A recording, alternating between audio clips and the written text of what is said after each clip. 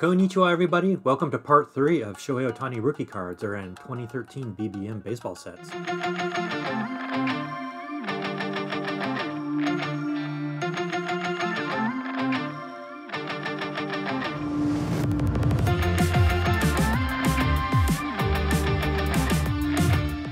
Hey everybody, thanks again for tuning in to part 3 of this series. This is going to be a 12 part series. And as you saw in part 1, I did a quick overview of the 11 different BBM sets in 2013 that contain Shohei Ohtani rookie cards. In part 2, I did a highlight video of the 18 cards that are in his 2013 BBM rookie edition. And here in this part 3, I'm going to highlight the 8 different cards that you can get in his 2013 BBM Icons Hope set. And you can see the Icons Hope set there uh, at least the box art off to the right of the screen here. Now this set is unique. It was a boxed set, and so it contained 27 regular cards and then one special insert cards, and I'll highlight each one of those.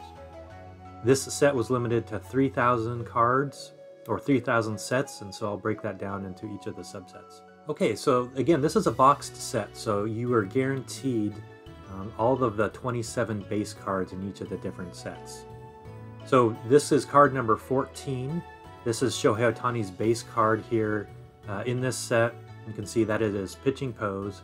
So you can see up in the right hand corner 2013 BBM and then the set name down at the bottom Icons Hope.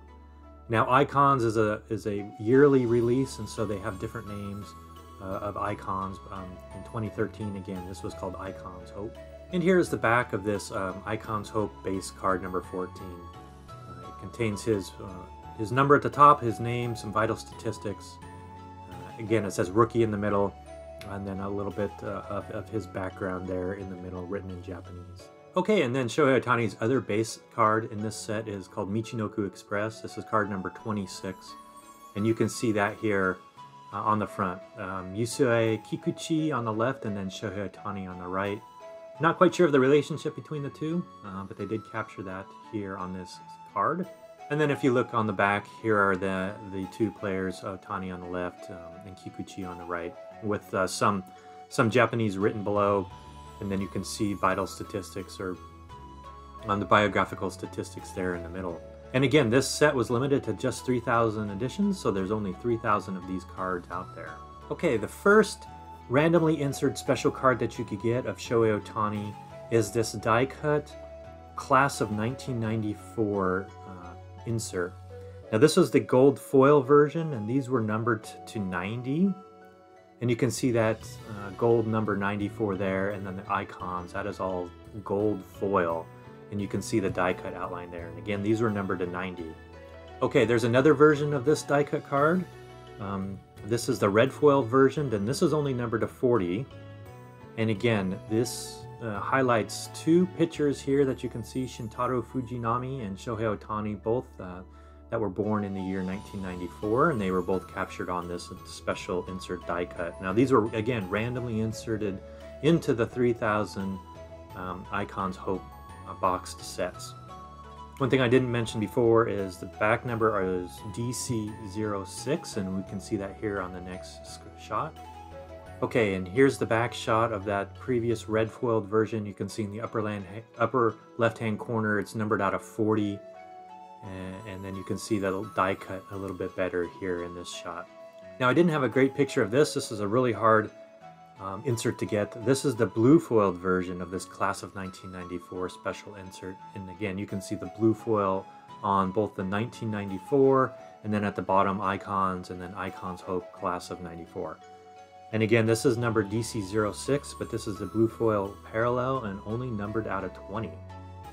Okay, the second special insert that you could get in these box set of Shohei Ohtani is this gold foil facsimile auto version uh, of his signature. And you saw this again in, in his rookie edition. Uh, BBM liked to use these facsimile gold foil, silver foil, red foil, blue foil, different versions of his card as chase parallels. And so you can see this, uh, this gold, uh, the gold foil printed here. And at the bottom it says printed autographed card. So again, not a real autograph, but a printed autograph. And these are numbered PA 14 in the set. So printed autograph 14. And you can see here on the back, uh, these special gold foil autos were numbered out of 50 with that PA14 at the bottom. Now I don't have a picture of it, but there's also a holo foil version of this, and uh, the printed autograph is actually this holographic sparkle pattern, and these were only numbered to 20. Uh, and again, those are really hard to find. I could not find an image of that, but, uh, but that, that is another version.